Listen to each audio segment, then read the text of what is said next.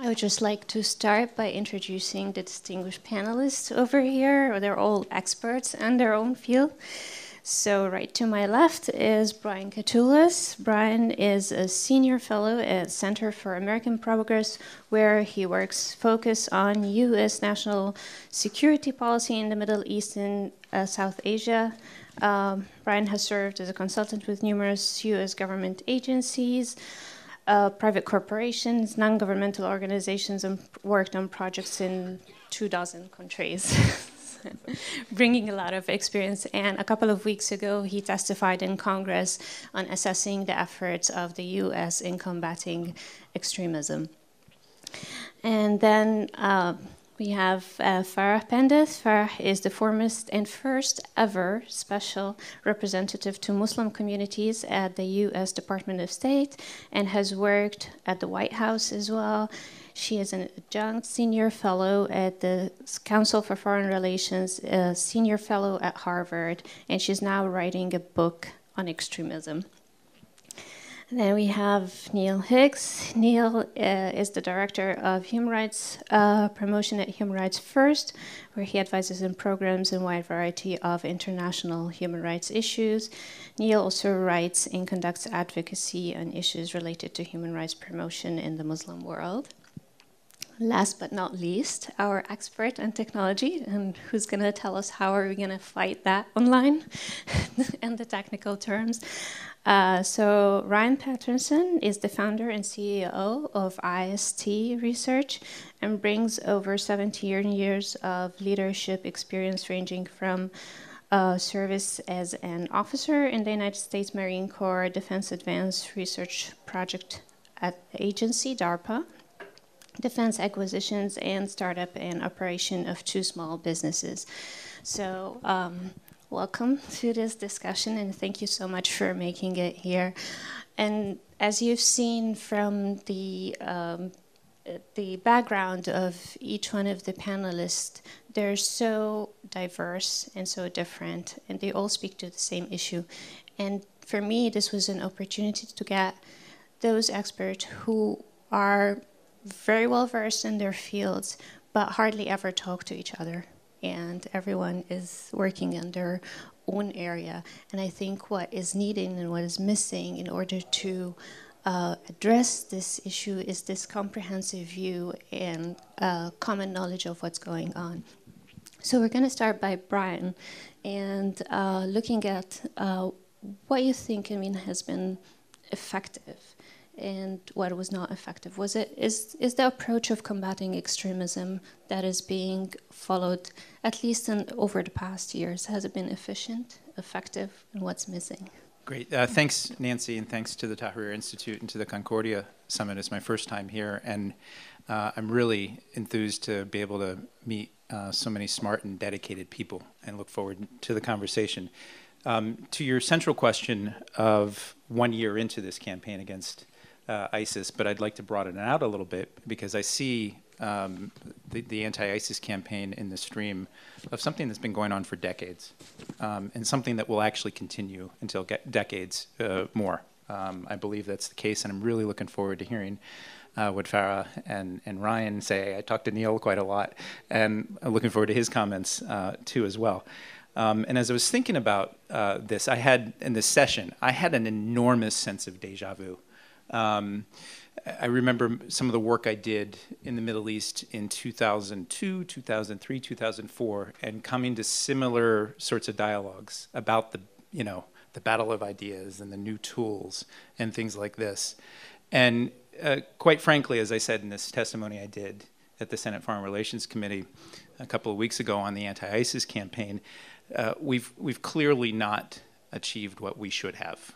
Um, and on the anti-ISIS campaign over the last year, I think the real answer to it, and I, would love to hear others' views on the CVE summit that was held uh, earlier this week in this town. Um, no country, or very few countries that are part of the anti-ISIL coalition, have made this their top priority.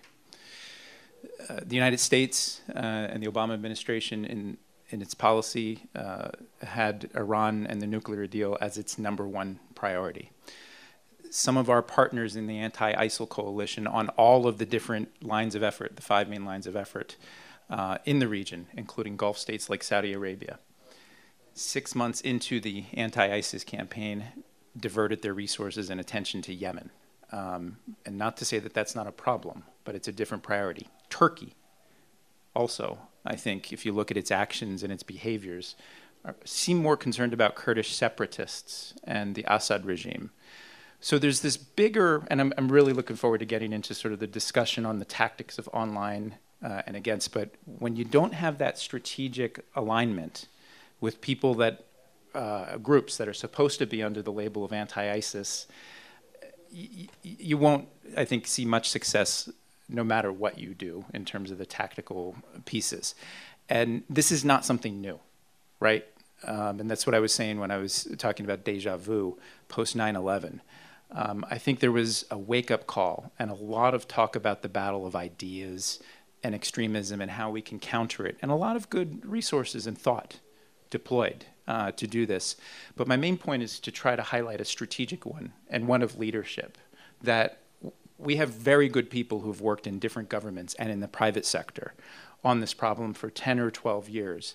But the simple fact of the matter is that as a society, the United States and I think many countries, we've not stayed as focused on this broader challenge of how do we actually uh, uh, defeat uh, this group, uh, these groups. It's not just ISIS; these groups ideologically. Um, that's not to say, and I don't want to be extremely negative. There are very good initiatives in place right now. Uh, things like the Sawab initiative that the U.S. and the UAE are doing. Um, these are all, I think, good in idea, but in terms of its impact as an analyst, as somebody who looks at the broader strategic landscape, it, it frightens me that we're not doing better. Um, that the problem itself, whether it was Al Qaeda before, ISIS now, and then different groups, has metastasized in ways that actually, I think, have led to this paralysis um, in, in, in, action, you know, at the strategic level, at the leadership level.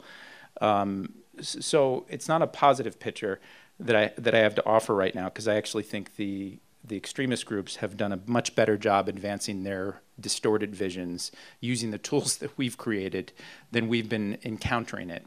The second thing I'd say, and I'll close, is that I actually think the framework of just countering is too limited.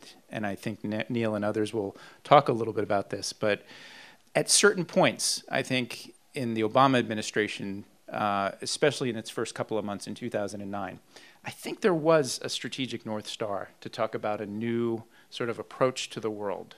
And there were different things, including beyond the speeches that were delivered around the country and around the world. Um, there was, I think, a focus, but the main point is that we diverted our focus from that. And even things like, which I believed were important, dedicating more resources to Afghanistan and helping Afghanistan stabilize itself, it was never, all of those big initiatives were never threaded into the broader strategic communications effort that uh, is needed to defeat uh, the extremists. Um, I think at certain episodes in the Bush administration, I actually was a, I'm, I'm a center left guy. I was a big proponent of the freedom agenda. I actually think there was a lot of flaws in its implementation, but in concept, I think a lot of those ideas, um, uh, unfortunately, uh, because of the poor implementation, uh, were lost. And the last thing I'd say, and I hope we can uh, talk about this because I know this is supposed to be a strategy session, um, in a sense, and what we can do next. And I have a proposal. I mean, this is such a big topic, and really, Ryan, others, uh, Farah, your, your, distinguished experience, we could try to talk about this in a global sense. But to me, unless you get precision on a particular case study or a particular country or a particular issue, it's easier to have that discussion. And my proposal would be the country that you and I have worked a lot on, which is Egypt and this is where I'll close the note, is like I know why, and it's necessary for us to maintain vigilance and focus on the fight against ISIS in Syria and Iraq. Just the simple statistics of recruits and the spread of that brand from Syria and Iraq is important. Um, but I vote for Egypt because there's actually a lot you can work with there, and there's actually a lot that I think is being done that is harming the fight against counter extremism from different levels. Um, and I've written quite a lot about this. But if simple point is that online strategies and social media, if civil society groups don't have the space to operate, to develop different sets of ideas to counter extremist groups in places like Egypt, if dissent is being squelched, um, whatever the brand is, whatever the political idea is, um, if the space isn't being allowed to operate, we'll never win this battle. And we can talk about the various social media tactics. Uh, so I think there's a problem with some of what the government of Egypt does. I also think there's a problem with the lack of an organized civil society response in Egypt to not only what the government is doing, I think there's a lot of critics there, and Neil probably can talk about this, but there should be an honest battle of ideas against those Islamist extremists who are out there too. And it's a polarized moment in Egypt, but my main point is that it's, it's, it's a place where one could conceivably have a discussion and a focused discussion. And by sheer numbers of what Egypt has produced in terms of extremism through the decades, and I fear what is happening right now. And it, there is access to internet. Activists, as you know, have used it for various means and mechanisms. My main idea and the proposal here in the discussion is can we focus this on a particular case study to see success? I, I could hear the arguments of no, we need to look at Iraq or Syria because it's more urgent. But um, Unless we actually have a focused, sort of determined effort in, in, in a particular place where we can see some success, uh, I, I, fear that we'll be in this continual cycle of reacting and being surprised and rediscovering the problem of violent extremism again and again. Thank you, Brian. And I, as you rightly point out, it's it's a huge topic to cover in one hour, and I was warned that I have to finish exactly at 3:30 on the dot. Uh, but my hope and my aim from this strategy session is to come up with more questions, the unanswered questions. Are we are we asking the right questions, and uh, are we looking at the right profile of people? Uh, we're going to picking up from what you said, that even starting with the term counter counter narrative as as a term, it's hugely problematic. Counter, it's reaction.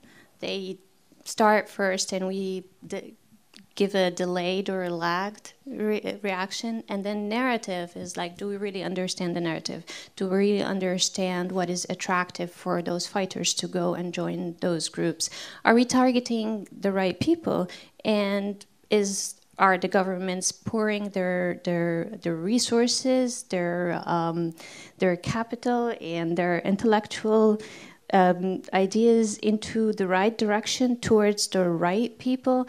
Uh, maybe I'll tell you a little bit of uh, a story, a little anecdote from this morning, um, just to give you a, a, background about what I do.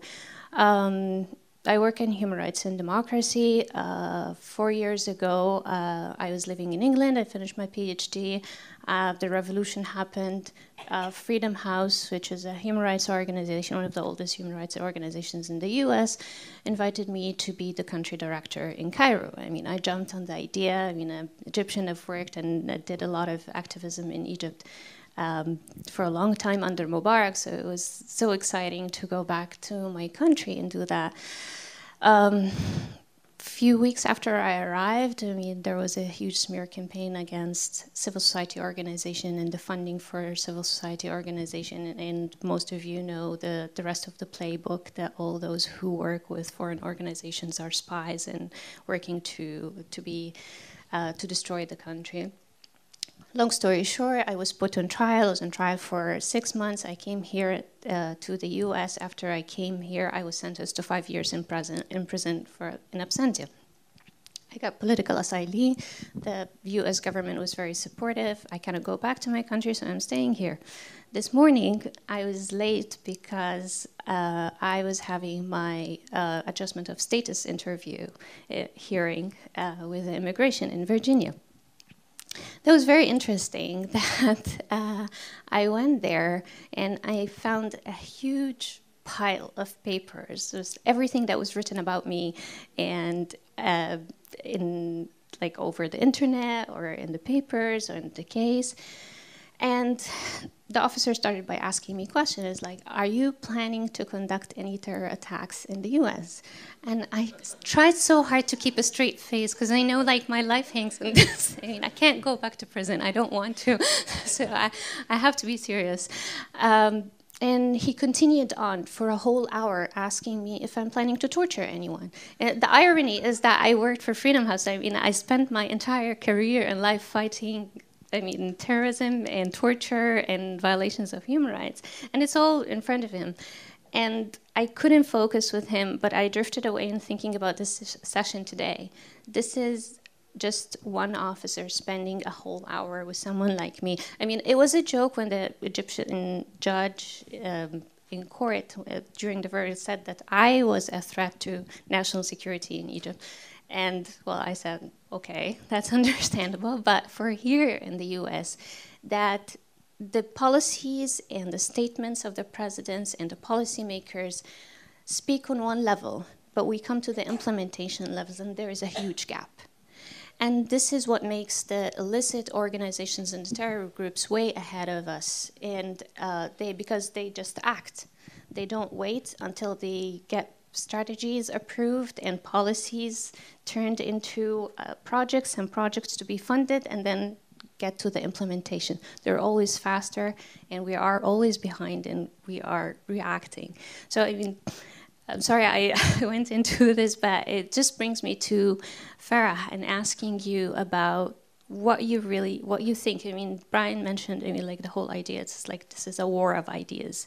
And this was something a narrative that or a discourse that was repeated at the time of the bush administration. What what do you think? Is it is it a war of ideas well, so first of all, thank you very much for the opportunity to, to come here today and to talk. Um, and since we're not in Washington, D.C., I don't want to be political about anything um, because I'm really, frankly, you talked about deja vu. I mean, let's just not go through the same thing all over again. Um, because, frankly, as a political appointee, both for Bush and Obama, both presidents didn't get it right. Okay, both of them have made mistakes. Some of them some things they did really well, some things they didn't. So let's agree that no one's perfect. Let's talk about the problem that we're dealing with, which is the ideology of extremism in many forms across the globe. Um, and what you're asking in terms of the war of ideas, from my perspective, is what we're looking at are groups in this particular conversation today, uh, groups that are using um, an ideology of an us and them in many different forms to prey upon a very specific generation of Muslim millennials millennials, right? Around the world. It is, from my perspective, it is a global threat. As the former special representative to Muslim communities, they traveled to 80 countries around the world and talked to tens of thousands of young Muslims around the world. Um, the consistent data point across the globe is very clear to me. This is It has everything in the world to do about the ideology of the extremists. It has different forms in different parts of the world, but there is an us and there is a them. There's only one other data point that's consistent, whether I was talking to a Muslim in Suriname or I was talking to a Muslim in Afghanistan. What is that consistency? Young Muslims under the age of 30 are having a crisis of identity. And there is something very specific about this generation of young Muslims that their parents and their grandparents don't have the same context. And we can talk about all the reasons why. But to get to your point, when I look at the threat of the ideology that is seeping into every corner of the globe, I agree with what you said. This isn't about just 9 11 and what happened on that day and everything that came afterwards. This is about 25 to 30 years of a cycle of extremist ideology that, that existed in an offline space and now has been catapulted into an online space that is affecting our daily lives. So when I think about the threat, Nancy, and I think about what it is where how we talk about things, uh, I couldn't be more in agreement with you that that lexicon matters, how we speak about things matter, that that that, indeed, yes, um, how it is we view the issue uh, matters. But let's get real. In 2015, when there are 40,000 foreign fighters leaving the West to go fight in Syria, when there are now 300 Americans that are leaving for Syria, when we are now seeing trends and changes, ISIS is not the last stop. It, there will be something after it. What we have to do as we think about this ideological war is to figure out how to compete with it in a way that is not, quote, winning hearts and minds, which is a phrase I cannot stand. It's offensive. Um, but rather, how do we flood the marketplace with so many other competing ide- ideas and ideologies? Because there's not one, there are many, that will allow a young person who is having that crisis of identity and begins to move down what we would consider the conveyor belt that gets them to, gets them to the pl- place where they are going to go in a violent direction. What's happening in that space, that gray space, all across the board? And we have not spent the kind of time that we should. You are correct. Um, billions of dollars have been spent in the hard power war, trillion, sorry, uh, in the hard power space as we look at what's happening in Iraq or Afghanistan or Pakistan or Yemen or wherever we're talking about. What's the money that's been spent in the soft power space? How do we think about a strategy, to your point, about how do we think about what, what it is we're fighting, what it is we're doing? You cannot have an army if you do not have recruits. How are people getting recruited? What's taking place for boys and girls, young men and young women that are moving them along that conveyor belt. And what have we done as the United States government, and indeed, what have governments around the world done to look at, to your point, when we look at what's happening at the UN today? Did we, uh, CVE is the, is, I, I think it's hilarious that CVE is now something everybody knows about when we were begging people in the Bush administration to actually talk about the ideological threat, and people pushed back against the terminology. Whether you call it CVE, or you call it CVIE, or you call it ideology, whatever you want to do, the, the, the, the, the scheme here is really have we unleashed the most powerful soft power machinery to compete with the ideas of extremist groups? The answer is no, we have not. Do we have the skills to do it? Yes, we do. Do the, do the bad guys have tools in their toolbox that we've never seen? No, they don't. But they have a consistent 24 hour machinery that is in place with people to actually deploy those ideas going forward. And so when I think about the threat and I think about this ideological piece, I ask myself uh, the question um, have we done enough and what, what should we be doing? And, as, and so to depoliticize sort of how we think about this, our country has not built a strategy of hard and soft power together that is combined and effective to be able to compete with the ideology of the extremists. And for me, that is the place where we should be should be focusing. I am not for one moment suggesting we do not have a robust and very uh, particular hard power strategy. But what I am saying is, if we intend to stop young kids from getting recruited, and because we know that there is no profile, you can be rich or poor, you can be educated or uneducated, the conversation 15 years after our country has been, 14 and a half years since we were hit with 9 11, we can now really debunk some of the stereotypes we think that, you, that if you only had a job, everything would be fine. If you only, it was only about boys, it's only about this. We can debunk all of that. We have a whole lot of knowledge on what happens to a young person along that conveyor belt. So when I look at this, it is ideological. It is, a, it is, uh, it is not. Uh, it is not held to a particular part of the world because I will tell you this ideology is in every crevice of the planet that I have been, and it is with boys and it's with girls, and it is about time that we have a conversation both inside of government and outside of government that says, how do we uh, flood the marketplace with counter ideologies, and how do we scale up the things that have been micro solutions that we know can work? And I will say, you know, with all due respect to efforts that are out there, and I have been a pioneer in many of those things, there is some evidence that some things work. But we do not have any place, anything, anywhere in the world that you can point to for 10 years saying, wow, we invested in this for a decade and look at what's happened because of it. So everything is experimental. And we have to be comfortable and willing to experiment and be bold in our innovation to compete with them. Because if we don't, we're going to be dealing this with not 50 years. We will yeah. be dealing, dealing with this for, uh, you know, 100 or more. Thank you so much. For, I can't agree with you more. Um, and as the the social space, I mean, like social media space or the online space, is always a reflection of the real world, with all its problems, with all its challenges and hindrances for, for making change. So, as in, in the real world, some authoritarian regime will make use of the war on terror to crack down on dissent and use that, I mean, accusing everyone who is in opposition of the government as being terrorists and to crack down on freedom of expression and all the other civil liberties out there. It also happens online. And the the crackdown on freedom of expression, the increase of surveillance, the, the push for ending encryption, all these things are symptomatic of what happens in real life.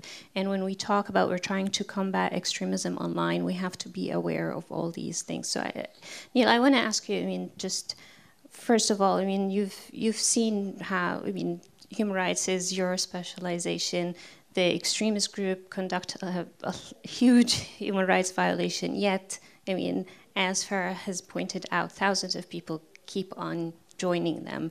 And we've talked before about the push and the pull factors. So if you want to just give us a bit of your view on this. Um, thank you very much, Nancy, and um, thank you to Concordia for allowing me to be part of this gathering. Um, yes, on this question of uh, human rights violations and the unattractiveness of ISIS. Why, why should it be that uh, anyone would be attracted to that? Uh, one thing we have to bear in mind, I think, is that you know, the great majority of human rights violations in Syria, where ISIS originated, come from the Assad regime. And a great many more people have been killed and displaced uh, by the Assad regime than by ISIS. So ISIS in a way, have a strong argument for saying they are the only force on the ground that is actually confronting the Assad regime, which is committing terrible atrocities and has killed hundreds of thousands of people and displaced millions. As long as the rest of the world is not seen to be doing something to bring an end to the conflict in Syria, uh, then a group like ISIS, unfortunately, I think is going to, to resonate not only with young people, of course, the young people might be more tempted to go and become fighters themselves, uh, but I think in, in broader communities who will say, this is necessary to protect our community, it's necessary to stop uh, the, these terrible uh, atrocities being committed by the Assad regime. So, in order to, to confront that, um, it's necessary to have an alternative message, an alternative narrative, a, a more positive narrative. Uh, just yesterday, uh, we at Human Rights First uh, organized a workshop uh, on countering violent extremism uh, with a group of human rights activists from different countries across the Arab world. And we had about uh, 40 people there, including activists from Syria. And we asked them, um, you know, what would you like to see from the US government in particular, from the international community uh, with respect to you know, the crisis in your country, the conflict in your country. And you know, they obviously have been through this for the last four years, and I'm sure are getting very heartily sick of talking to people around the world about what's going on in their country. Um, but their demand was, you know, we want to see a hopeful vision for the future of Syria. You know, we recognize that ending the conflict is an ambitious and complex process. But you know, we want to see a plan there, a strategy there, uh, which needs to be led, I think, by the United States. And they don't see that at the moment. Uh, and were there that optimistic vision of how the conflict can ultimately be ended, how civilians can be protected in the short term, um, that I think would begin to counter uh, the attractiveness of extremist groups like ISIL. So there are things I think that the US can do in the short term, um, short of finding a diplomatic solution to the conflict. One of the reasons why so many Syrian refugees have fled to Europe in recent months is the, is a terrible shortfall in the international humanitarian appeal. And this has meant that the uh, provisions, the food given to refugees in refugee camps in Jordan and Lebanon have, has been cut. Uh, so people were really facing the choice of, of, of starving slowly or risking their lives and, and traveling elsewhere, traveling to Europe. The US can do something about that. The US already is the largest international donor to the international humanitarian effort. But many US allies have not done their part adequately, and the US could make it a much stronger priority to see that that happens. I think the US needs to start looking much more actively and urgently at the possibility of creating protected zones within Syria so that Syrian civilians do not need to become refugees in the first place. And this, I think, is also important looking forward to an eventual diplomatic solution or an eventual political solution to the Syria conflict. You know, within these zones inside Syria, you could start building, having the building blocks of a future Syrian state. Ultimately, it's, it's, it is about having a, a vision of hope. And instead of just reacting, having something which is proactive and which is realistic and which has a strategic time frame to it. So it was disappointing on Tuesday to listen, for example, to President Obama at the Leaders Summit on Countering Violence Extremism. Know, again, he, he has a very good analysis of, of what has gone wrong in Syria, and he says, well, the United States is, is willing to work with our partners, and we're willing to work with Iran, and we're willing to work with Russia. Um, but to do what? You know, that, that was what we were waiting for, and we didn't hear it. So, short of that firm strategic plan, uh, then unfortunately I think there will be an audience for uh, the messages of extremist groups like ISIL. Yeah, and he also uh, was very uh, realistic, saying it's like, but these things take time and it's complicated.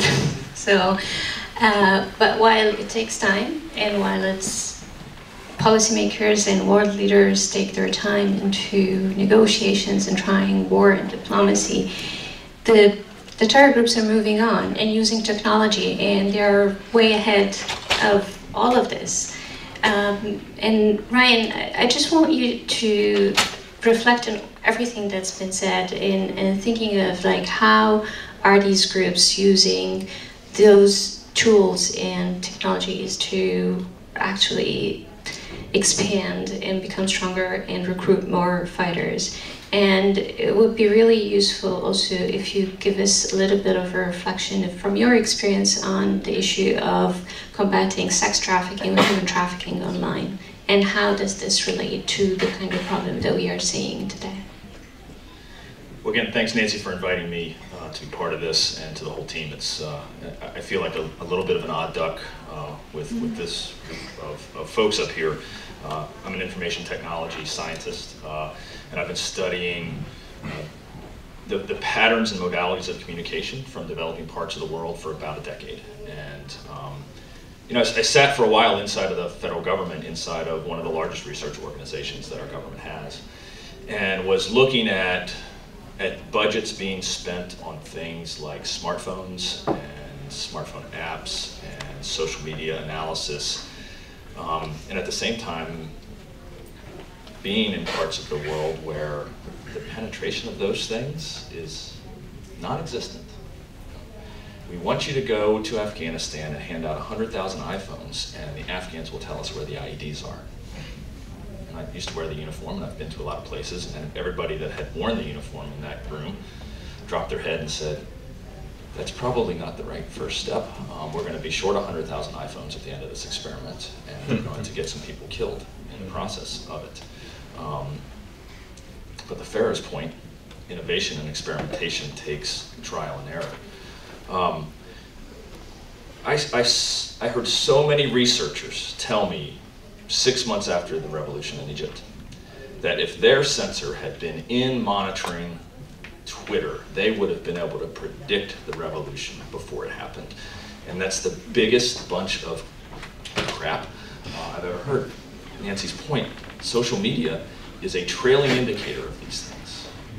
It's not a leading indicator. You can't get into the social media space when you're dealing with problems from largely disconnected, highly volatile areas. It's, it's happening at a much lower level than that. And so for the last five years, one of the things we've been developing and working on is, is really understanding how to connect with populations in high conflict, low stability areas uh, and, and connect with them well and connect with them in a, in a cooperative two-way manner. And there's a couple of things that have to happen, we feel, for that to work well. Um, one, you need to focus on technologies that are in the pockets of the people you're interested in today. You cannot wait for Project Loon to float balloons over Central Africa from Facebook. God bless them, I can't wait till they do it. But you can't wait for that um, to start understanding some of these things. Um, you've also got to combine both this idea of, of, of active campaigns where we're asking questions all the time to understand what's going on. Um, with the passive campaigns of monitoring social media, monitoring what's happening on the web, the forums, um, the, the darker and deeper parts of the web uh, as well. And I, I, I want to give one example. I'm, I'm a little bit jealous because there's a whole panel on human trafficking going on, and uh, that's one of our passions as well.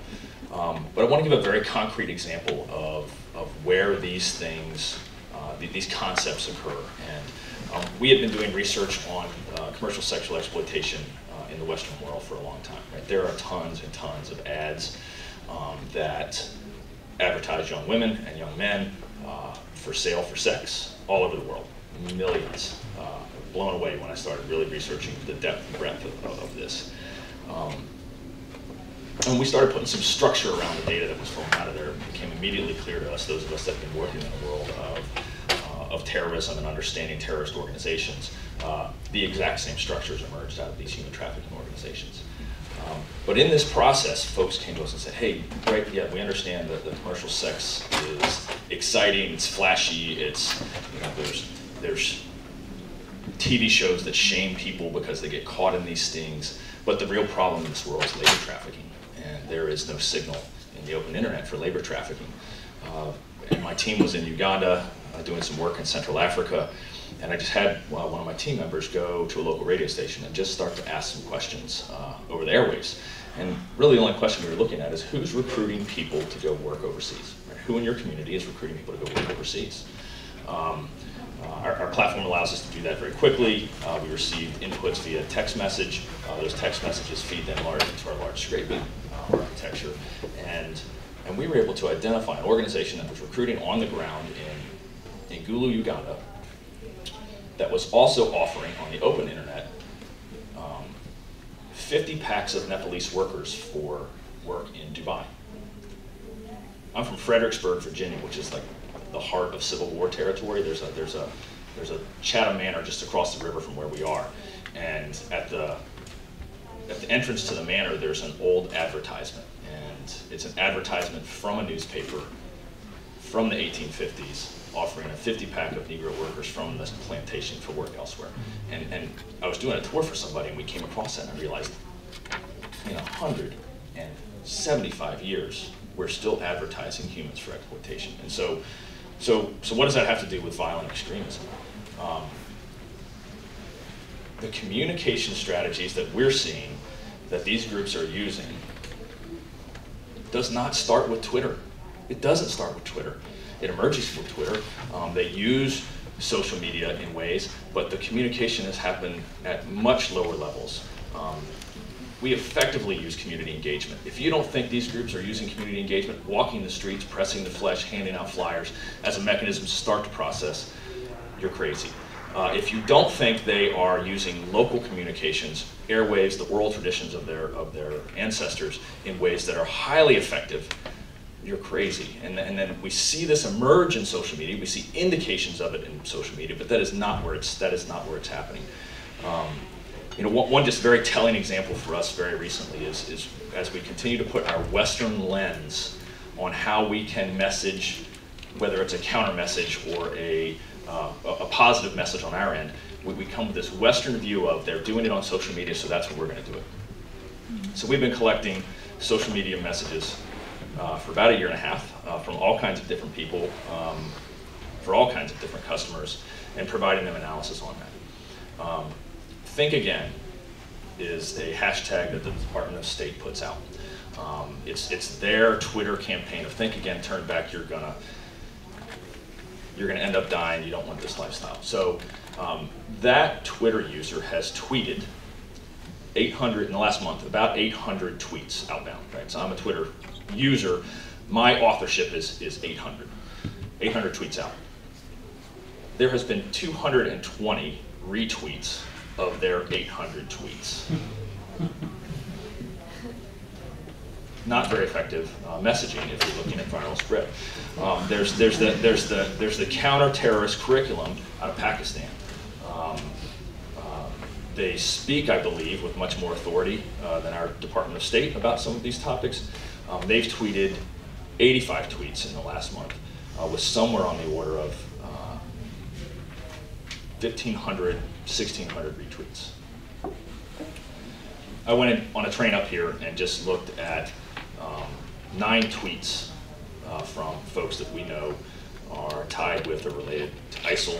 Um, and we know they are because they're using the deep web links of posting rich content, things like Just Paste Dump 2, uh, other of these posting boards that are, that are non-searchable on the internet. Uh, and I pulled out nine of those originating tweets. Nine. 35,682 retweets from nine tweets. Um, yeah, we, we, are, we are afraid to we, we are trying to take our, our, our messaging campaign and wrap it in what is the politically correct stated objective at that level rather than basing our messaging in the truth of the, of the depth of what I heard all of you all talk about of th- this is not a fringe group of crazy people from the desert. It is everywhere, and it is being very impactful, and we're losing badly the information war right now.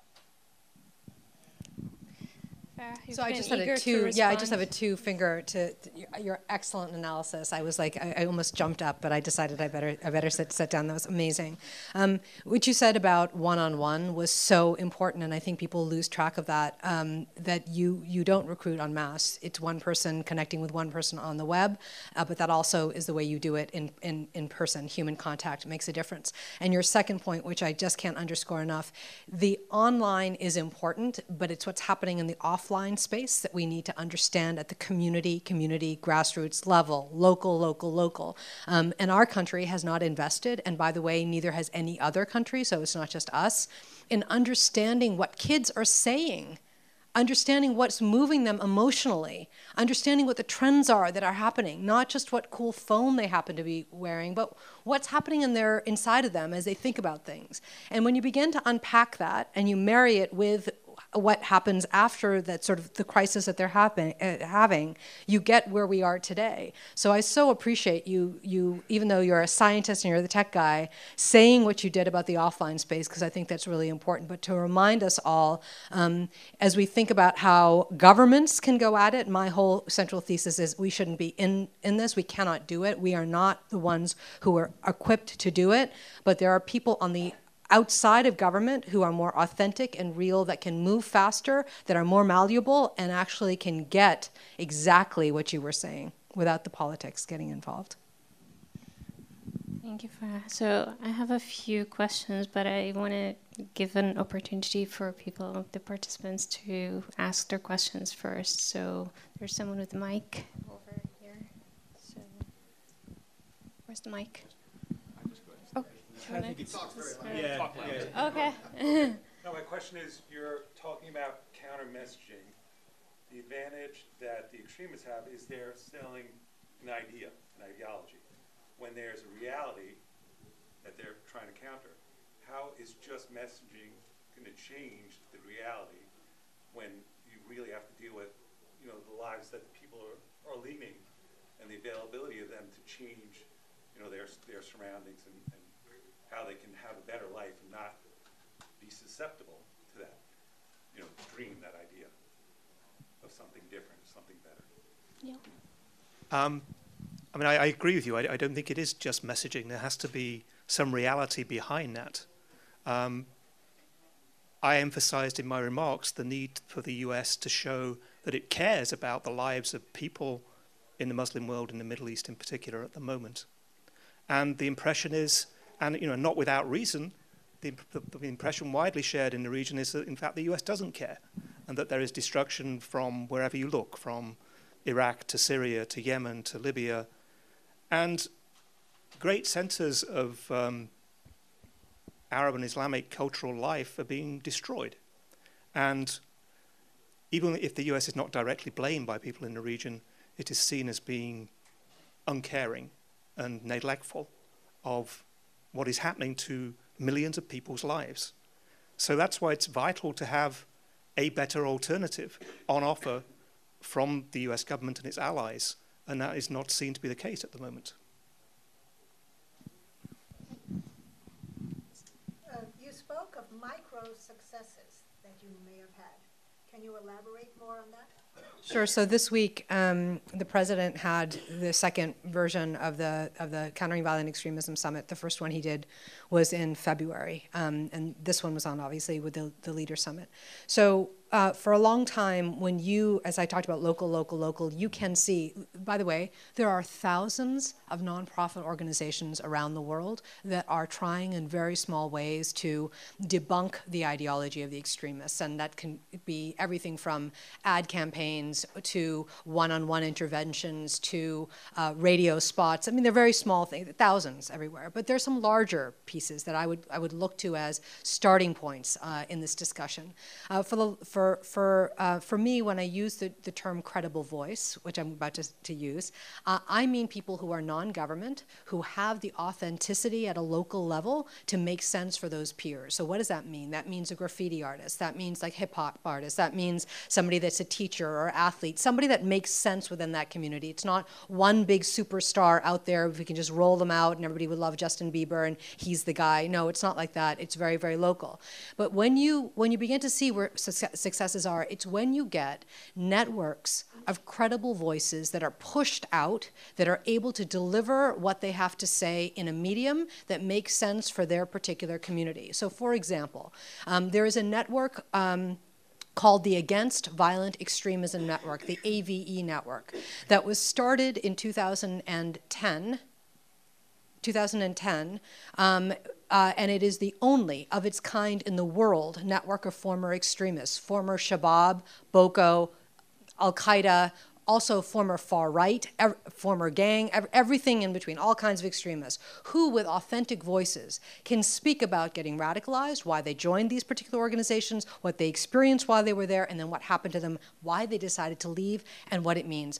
There is no other more credible voice anywhere in the world than somebody that has walked that walk and can come back. So, how do you amplify their stories? So, we're beginning to see um, we are using that network, so that's the rich content that we use. You connect that with um, the tactics of how to get those those narratives out there. Some in the social media space, um, using YouTube and, and other things where you're you're targeting the particular users that would be susceptible, that might be interested in going, you know, that are going to shake Google and googling, um, you know, how to get to Syria or whatever it happens to be. You're and, and those messages are coming to those particular users uh, that are, are, authentic and real. So there are campaigns that are happening in that way, but the target audiences, I mean, I thought it was really powerful when you talked about sort of we put this out and this is how many retweets. In those spaces, we are partnering with Google, uh, Facebook, YouTube, Twitter, to use data analytics to help us understand how they're measurable. So when you look at some particular micro programs, you can see hope. You can see, well, what would happen if you took this and you scaled it out?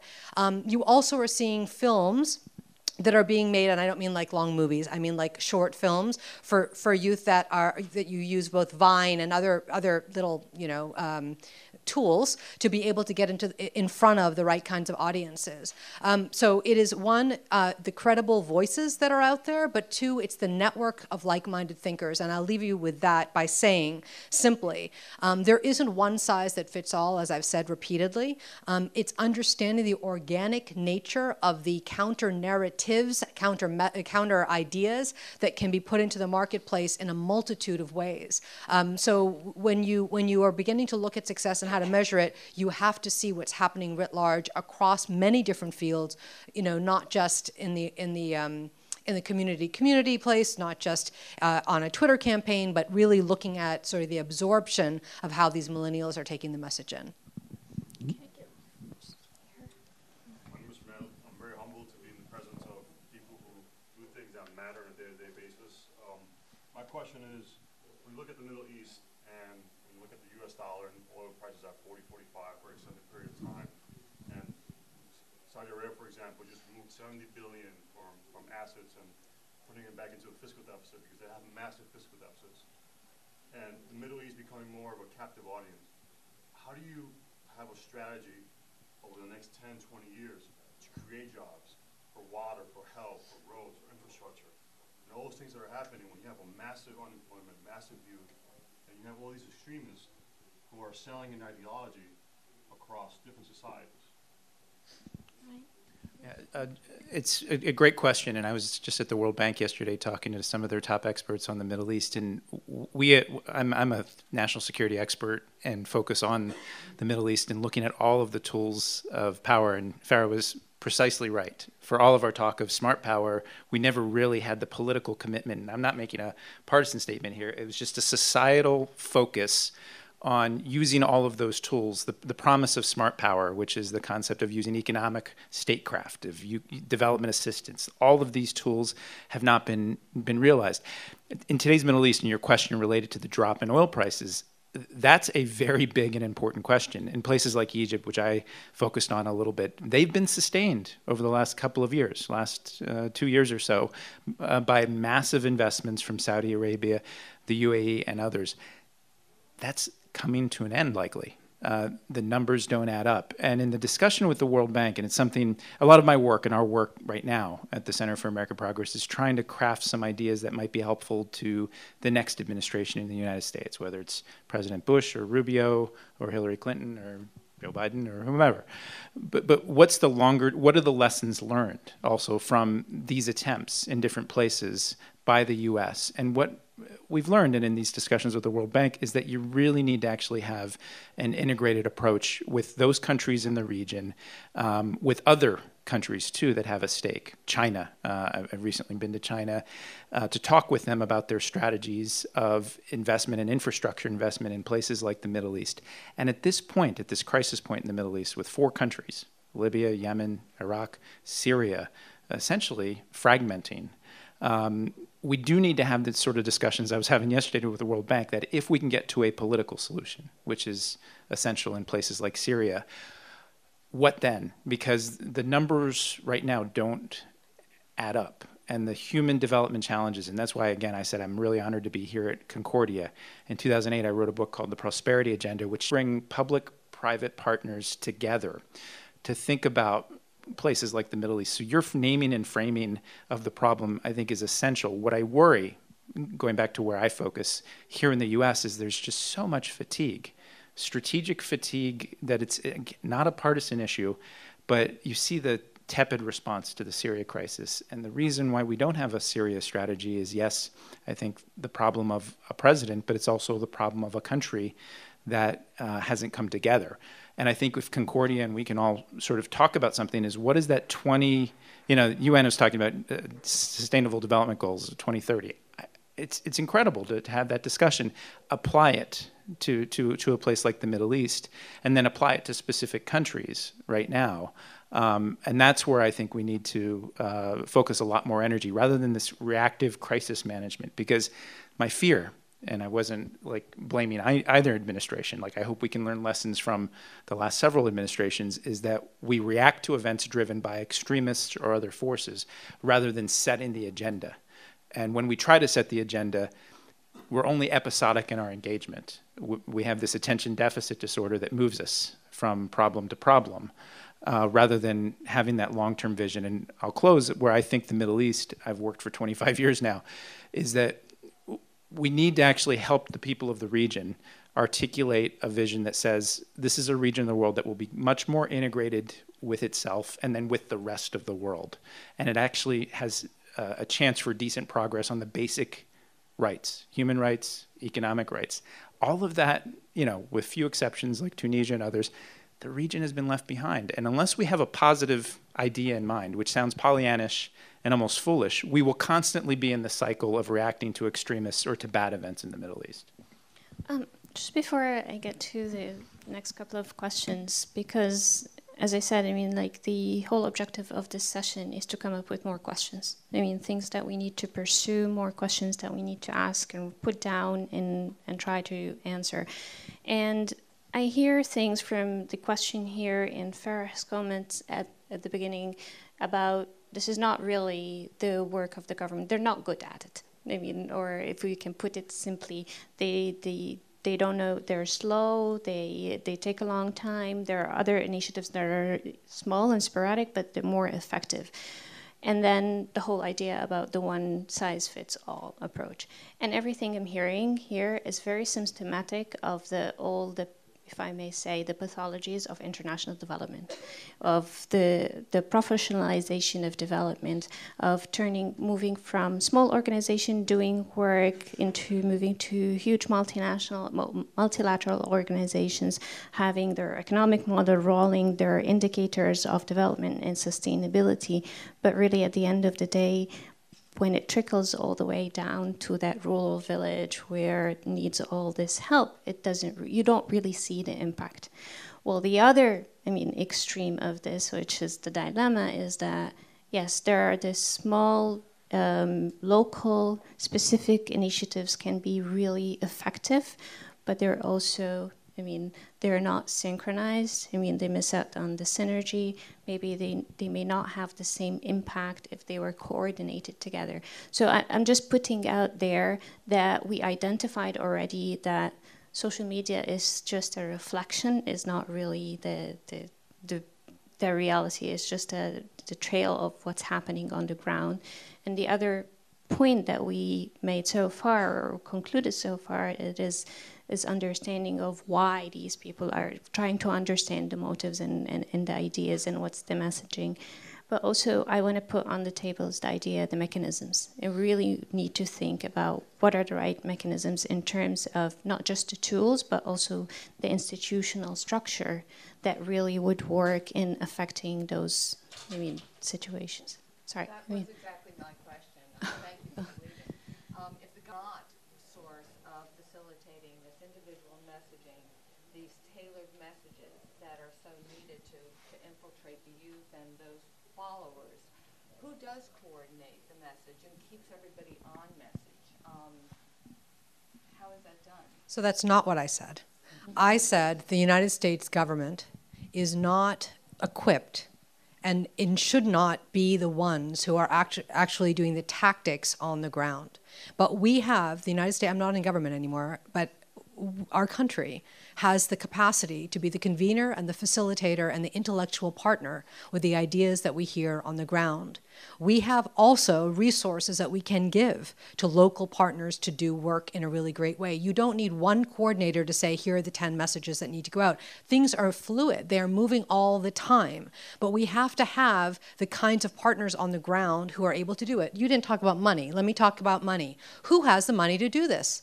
You, you look at the success models that I'm talking about, um, and, and, and some of the local players who have the capacity to do an amazing job don't have the capacity to raise the money to be able to do it, and they do not want to take government money from anywhere in the world. So the question I ask is why haven't we, 14 years after 9 11, normalized the conversation about extremism so that non government people can understand that this is a human problem the way we would look at HIV AIDS, the way we look at any other thing, to say how can we get different kinds of money at the local level to be able to do things. This is not about the US government giving trillions of dollars, uh, you know, by coordinating the right messages and making sure that 10,000 programs are happening the exact same same way. That has never worked. It will not work. But the, the communities on the ground, and let's be really clear about the numbers that we're talking about. As I said, one fourth of the planet is Muslim, 1.6 billion people. 62% of that number is under the age of 30. That is the population from which the bad guys are recruiting. So you cannot control or coordinate for one, you know, one gigantic message thing, but you absolutely as government can can use both and I'm sorry to use this word because people freak out, but the intelligence that we learn about what's actually taking place. We have a lot of knowledge about what the bad guys are saying and how they're saying it we have a, no, a, lot of knowledge about um, about what uh, what we what is working and what is not working. We can actually transfer some of that information to the local players on the ground who can do a better job than we can.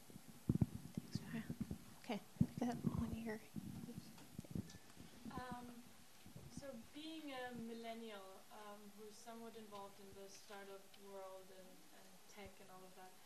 Um, I wonder why not more of an effort. There's so much going on in tech right now. We see Silicon Valley, we see all these startups, we see this wave of, of startups popping up everywhere. And um, what I see in that is a way of making young, smart people very, very efficient through leading them with the right things, giving them resources and responsibility, and letting them do their thing. And I think there are amazing things that come out of that. Um, so my question is, why don't we let millennials reach millennials? I mean, we have so many schools in, in the US, there's so many international kids coming. There's so many people who come from all different places of the world who could reach back to those places, go back to into their, their hometowns or wherever they come from. They know the mindset, they know their, their um, background. You want me to answer that? Uh, Go for it. I'll, I'll say a few things. So, um, I, th- I think I'm a few years outside of the millennial uh, world, but but as a as a tech guy and, and an entrepreneur, um, I, I think I think your point's are right. So I, I think the solution is not a technology solution. So this is not going to be taking Silicon Valley uh, technology think back, but taking Silicon Valley entrepreneurial think back is uh, is something that, and we, we did we heard some things uh, this morning about investments back into countries and allowing for um, this idea of self actualization of people being able to understand that they can create a different they can create a different future uh, locally, um, not not waiting for not waiting for big G whoever it is God government whoever your guru is to come solve your problem for you, but uh, but to your point of, of taking people back and inserting them back into a place going, yeah, we can sit around and wait for the corporation to do the right thing, or we can go start our own corporation um, and, and and move from there. And I think that's I think that's a, a, a really salient point of uh, of just how and it's so easy for the big folks to to completely miss it. Um, when when I was in was was in Iraq uh, supporting the army with information technology, uh, they had a great thing, right? In the United States, we've got the back to school pack, backpack uh, drives, right? In the churches, local community centers, pick up a backpack, get it to the kids. The uh, the the shooting had just stopped. Uh, the the counter the insurgency hadn't yet started, and everybody's like, "Hey, let's get the kids back to school." So we're going to do backpacks, right? Somebody's like, "Hey, great idea. Let's do the backpack thing here." And great idea. Everybody said, "Great idea. Yep, let's get stuff in the hands." So what they do? They bought tons of stuff from Walmart in the United States, flew it over on planes, put it out, started pushing it out into the streets. Every kid had a backpack full of great stuff. Great, right? No. Uh, the shop owners in Baghdad went broke. The local people went broke because we brought backpacks from the United States in rather than working with the locals. And that's, that's not a thing that you would have ever gotten studying this from the big level, right? This has to be local. There might be some places where that's the only way to get the supplies in is right. There's no shops, but here you had a, a, a thriving entrepreneurial environment already in Baghdad with shop owners wanting to get to back up, and we just crushed it uh, by bringing school. Well, unfortunately, won't be able to take more questions, but I'm sure there will be lots of opportunity over the next um, day and a half to continue the conversation.